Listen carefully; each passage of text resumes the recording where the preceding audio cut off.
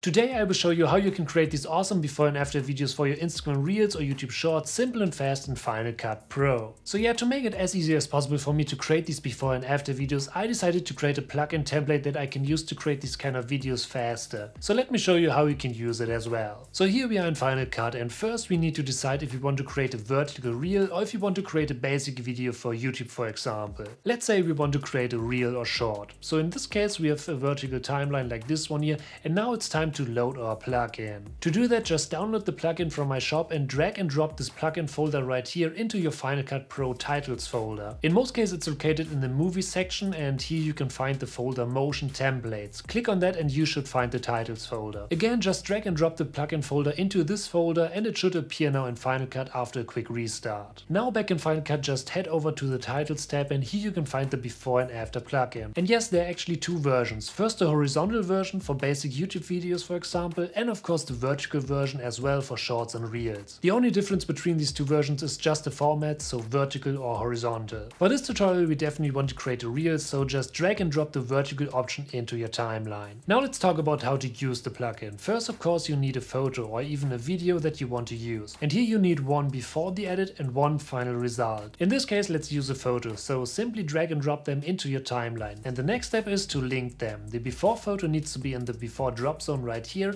and the after photo needs to be in the second drop zone that you can find right here as well. So in this case just select the drop zone and next select the before photo in your media folder and click on apply. Basically now the first photo is linked. Repeat that with the after photo. Just select the drop zone next to your final result image and here we go it's linked. You can also adjust the position, size and rotation of your images as well if you need it but if you export 9x16 photos you shouldn't have any issues here. If you now quickly watch our videos you can see that we already got the transition. So the next step is to add the color palette effect. And here you can currently choose between three options. The first one is the box theme, the second one is the circle palette theme, and the third one is the basic circle theme. You can activate or deactivate each theme by using these little buttons right here. Let's say we want to use the circle palette theme. So just click on this button to activate it and the next step is to add the colors for our palette. Just head over to the theme area right here and select the first color. Now use the color pick tool to pick the color of your final result to add it to your color palette palette. So yeah, you can see that's really easy. And now it's time to repeat that for each of the five layers.